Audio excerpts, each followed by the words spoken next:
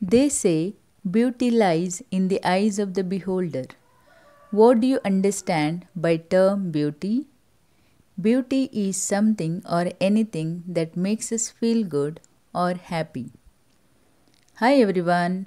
In this video, we are going to study the poem Beauty. Poetess A. E. Shure. Her original name is Louise Abeita. She was born in September 9, 1926 in New Mexico and died in July 21, 2014 at the age of 87. She was an author, poet and an educator. She was known for her book I am a Pueblo Indian Girl. Beauty is seen in the sunlight, the trees, the birds, corn growing and people working or dancing for their harvest. The poetess has a simple idea of beauty. In the first stanza, she says that beauty can be seen in the sunlight, trees, birds, as well as in corn growing, people working or dancing for the harvest. This is an original idea of beauty. Wherever we see, the beauty is there. There are beautiful things to be seen all around us.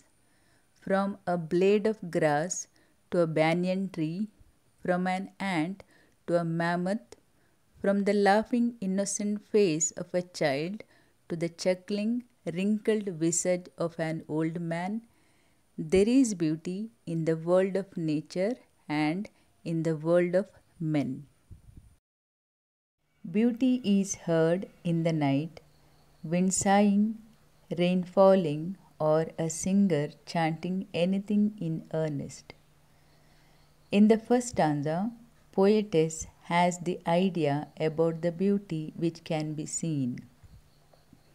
In the second stanza, the poetess talks about how beauty can be heard.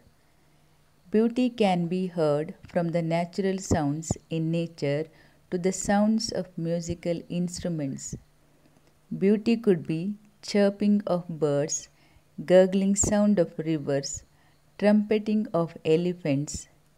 It could be the tender sound of a child, delicate voice of a woman, the mature resonance of an old man.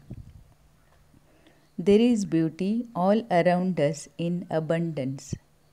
Here, poetess says that beauty can be heard at night when the wind sighs, when the rain falls, and when a singer sings in earnest.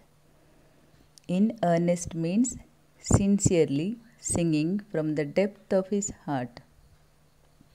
Wind sighing, that means wind that is sighing.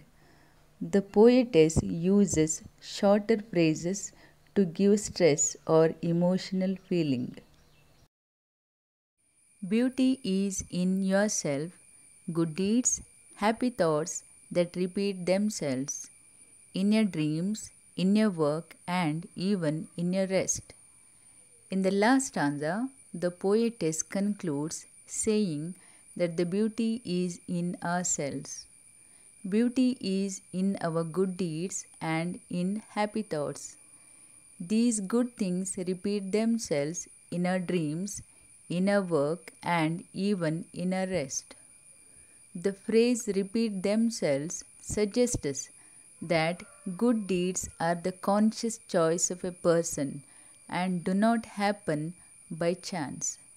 They are not stray incidents of goodness, they are the outcome of a person's purposeful choice to be good and to do good.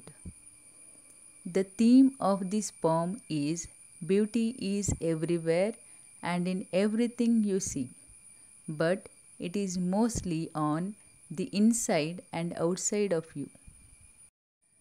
The phrase wind sighing is personification. Give some more examples of personification. First one, dancing clouds. Second, sleeping city. Third, whispering waves. Here, clouds, city, waves are non living things and they are personified in these lines. Do like, share, and subscribe my channel. Thank you.